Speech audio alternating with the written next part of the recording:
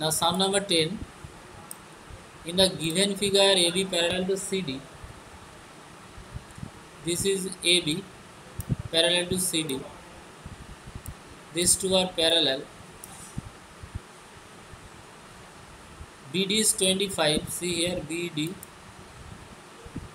24 given. CD 17 given. CD it is 17. Find the length of BC.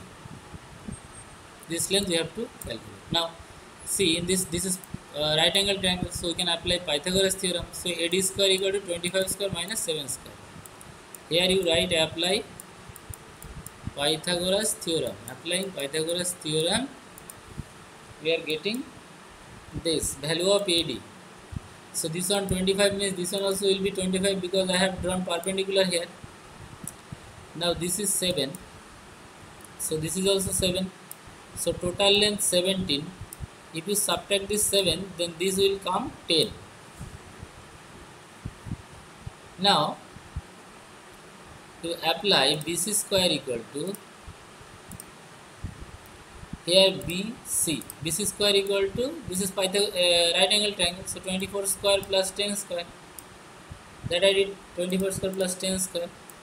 Here you write applying Pythagoras theorem. From which triangle? CBK given name CBK triangle. So you are getting 26. That is only told to find.